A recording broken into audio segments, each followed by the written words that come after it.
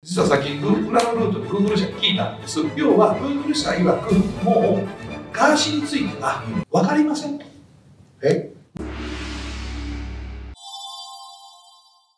今、週刊文春の情報集まってるじ そうですよね。だからそれをどう出していくかがこれからの課題で要は YouTube でストレートに出すっていうのはそれは完全に止められたわけですね。今もうバンになってしまってる。もう完全バンなんです。完全バンですよねあれも完全バンですだって切り抜きの人たちはワンストライクツーストライクスリーストライクじゃなくて一発バンされてるんですよあ、そうなんですか。はいえだからもうガーシーの顔と音声が出るとバンされるっていう状態になっていて、ー、それすごいですね。ガーシーのチャンネルを切り抜いた人はね。ただ、じゃあコラボした人はバンされるかどうかについてはまだ不明なんですよ。で、ガーシーとコラボしたのが麻生先生ですそれバンされたんだよ。あれはバンされた理由は、ガーシーが出て行って、俺にステアがちょうだいって言ったんですよ。2000ぐらい集まったらしいんですけど、うん。それは利用規約違反だからバンされたんです。一応理由はそっちなんで、ガーシーとコラボしたんじゃなくて、ガーシーを制させて違法なアカウントの収支をしたから利用規約違反でバンなんですよ。ああ、なるほど。これはまあ、まあ、まあ、裏のルートでっていうか、実はさっきグ裏のルートで